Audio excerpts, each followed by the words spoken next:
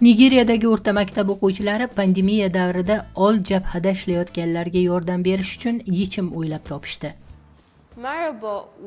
Mayrobot kasalxonalardagi shifokor va covid 19 bemorlari o'rtasida jismoniy kontaktni kamaytirish maqsadida yaratildi.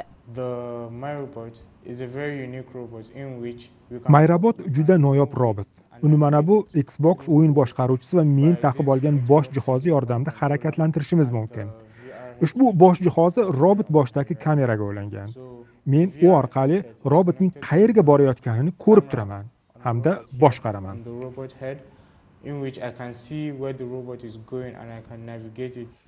Maktabdagi hamshiralar mayrobotni sinab ko'ra boshlagan. Bugun qandaysiz yaxshi bo'lib qoldingizmi? Haroratingizni o'lchashim uchun ozgina egilib termometr nuriga yuzlaning. Birinchidan may robotga dorilarni joylaymiz. May robotning tokchalarga o'xshagan bir nechta qismlari bor.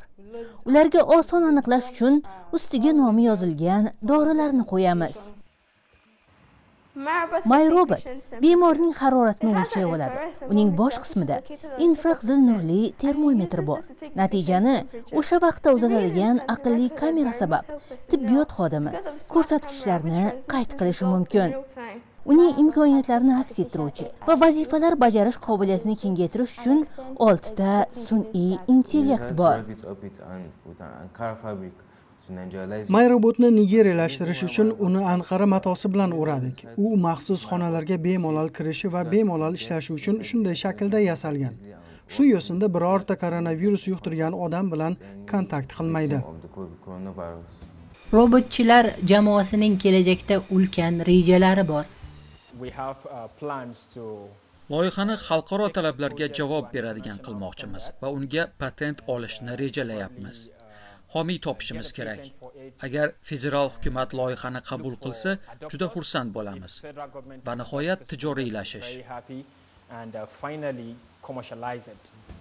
mayrobot yordamchi bo'ladi biroq u shifokor va bemor munosabatiga barham berolmaydi.